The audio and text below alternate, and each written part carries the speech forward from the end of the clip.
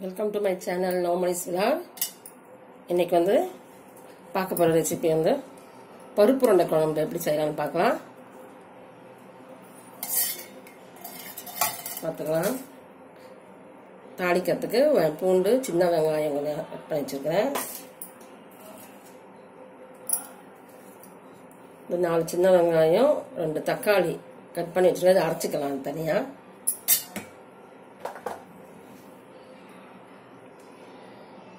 கடலைப்பருப்பு துவரம் பருப்பு ரெண்டும் பாதி பாதி சம அளவு எடுத்து ஊற வச்சு வச்சிருக்கிறேன்.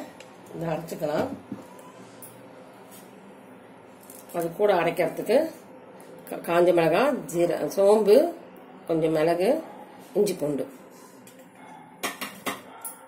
எண்ணெய் ஊற்றிக்கலாம் தாளிக்கிறதுக்கு.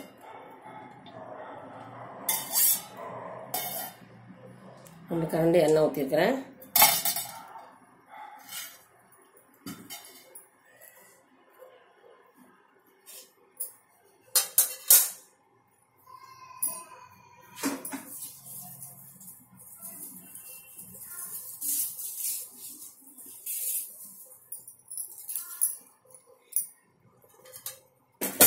கடுகு போட்டுக்கலாம்.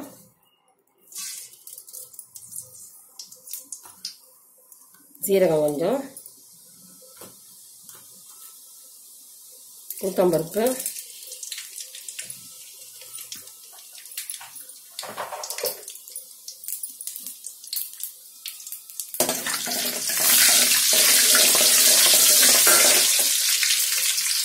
வெங்காயம் பூண்டு கருவேப்பிலை போட்டுக்கலாம்.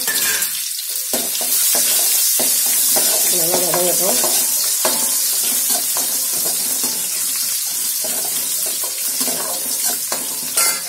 அதுக்கப்புறம் தக்காளியும் அந்த வெங்காயம் அரைச்சிட்டு வந்து ஊற்றிக்கலாம்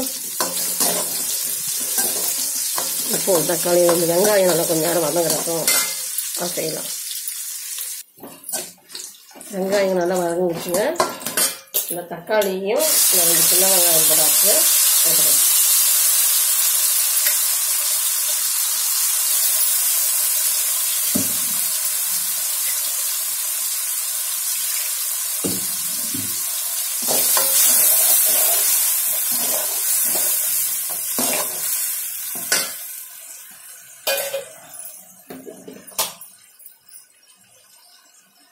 மஞ்சத்தூள் கால் டீஸ்பூனு.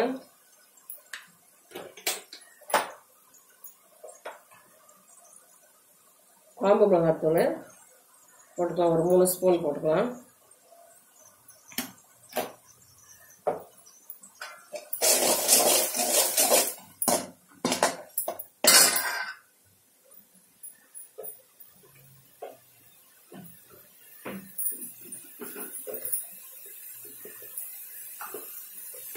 தனி மிளகாத்தூள் ஒரு ஸ்பூன் போட்டுக்கிறேன்.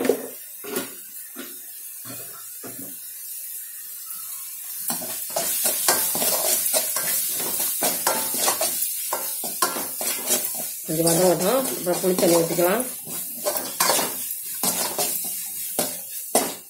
இப்போ புளி தண்ணி ஊற்றிக்கலாம் தண்ணியாக கரைச்சி வச்சுருக்கணும்.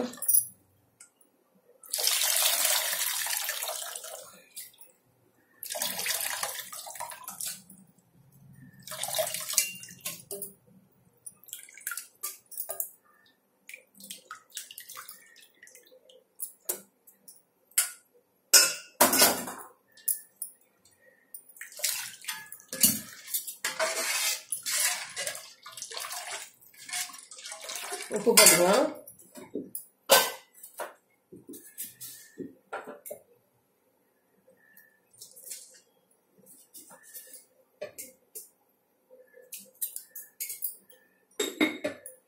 அவ்வளோதாங்க இது கொதிக்கட்டணும்னா அதுக்கெல்லாம் அதுக்குள்ள நம்ம பருப்பு அரைச்சிட்டு வந்துடலாம். எனக்கு ரொம்ப தண்ணியாக இருந்தால் தான் நம்ம பச்சை உருண்டையை வந்து அப்படியே அரைச்சி அப்படியே போட போகிறோம் உருண்டை பிடிச்சி அது கொஞ்சம் கெட்டி ஆகிடும் அதனால தண்ணியாக இருக்கணும்.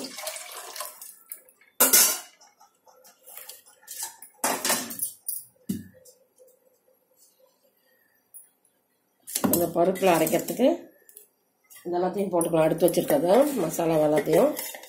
பூண்டு இஞ்சி சோம்பு காஞ்ச மிளகாய். எல்லாத்தையும் போட்டு பருப்பு போட்டு அரைச்சிட்டு வந்துடுறேன். இதெல்லாம் அரைச்சாச்சு. மிக்சியில் போட்டு கொஞ்சோண்டு சோடா உப்பு. அப்போ கொஞ்சம் சாஃப்டாக இருக்கும். நல்லா கல்லாட்டிருக்கும்.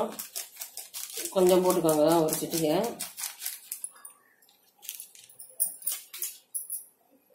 உப்பு தூளுப்பு கொஞ்சம் போட்டுக்கோங்க அந்த மாவுக்கு. போதும்.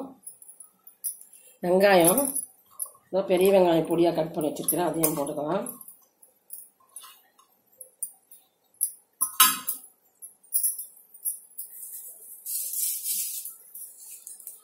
கருவேப்பிலை கொஞ்சம் இது போட்டுக்கலாம். அவ்வளோதாங்க அதில் அப்படியே உண்டை பிடிச்சி பிடிச்சி புளி தண்ணி கொதிக்கும் போதே அதில் போட்டுடணும் அப்படி அப்படியே ஒன்று ஒன்றுனா மேலே எழும்பி வரும். அழுந்து போயிடும்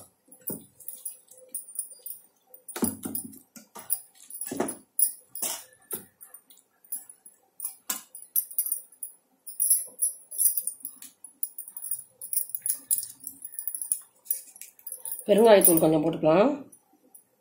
நான் பருப்புன்றதால இந்த பெருங்காயத்தூள் போட்டாகணும். அவ்வளோதான் அதில் போடுறது. எதுவும் இல்லை.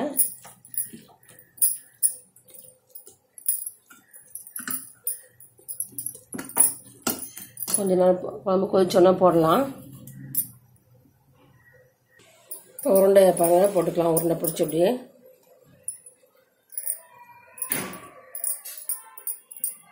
ஒன்று ஒன்றா அப்படி போடுங்க.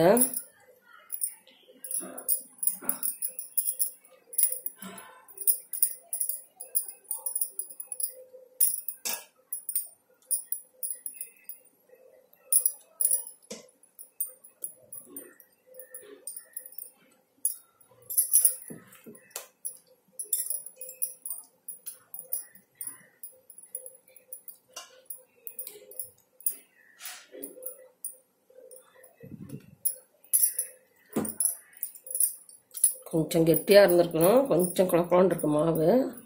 அதனால் ஒன்றும் இல்லை அப்படியே வே- வெந்துடும் பிரிஞ்செல்லாம் போகாது. இப்படியே ஒன்று ஒன்றா இப்படி பிடிச்ச நம்ம போட்டுட்டே வர வேண்டியது தான்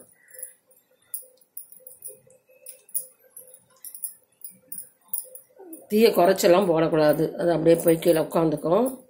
நம்ம கொதிக்கும் போதே போட்டோம்னா தான் நல்லா உருண்டை உருண்டையாக அப்படியே நிற்கும்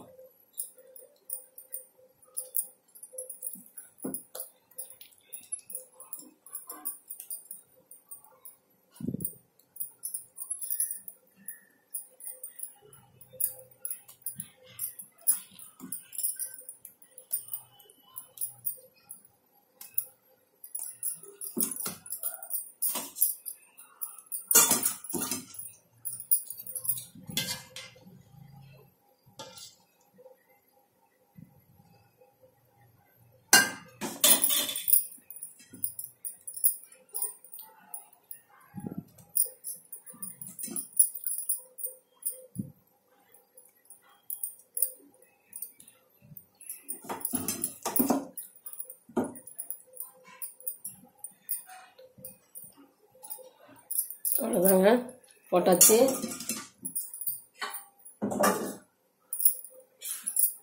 அது வேகட்டும் கரண்டி போட வேண்டாம் இப்போ. அப்படியே கொஞ்சம் நேரம் அப்படியே வெந்துச்சுன்னா அப்படியே நல்லா இதாயிரும் நல்லா ஊறும். கொஞ்ச நேரம் கொஞ்ச நேரம் அது வெந்த அப்புறம் நம்பி பார்க்கலாம்.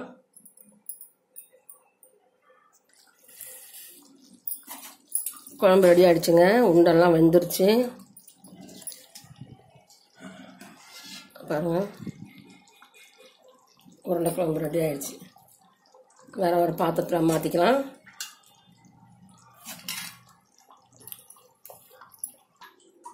உருண்டை குழம்பு ரெடி. இதே மாதிரி நீங்களும் செஞ்சு பாருங்கள் செஞ்சு பார்த்துட்டு கமெண்ட்ஸ் கொடுங்க. லைக் பண்ணுங்கள் ஷேர் பண்ணுங்கள் மறக்காமல் சப்ஸ்கிரைப் பண்ணுங்கள் தேங்க்யூ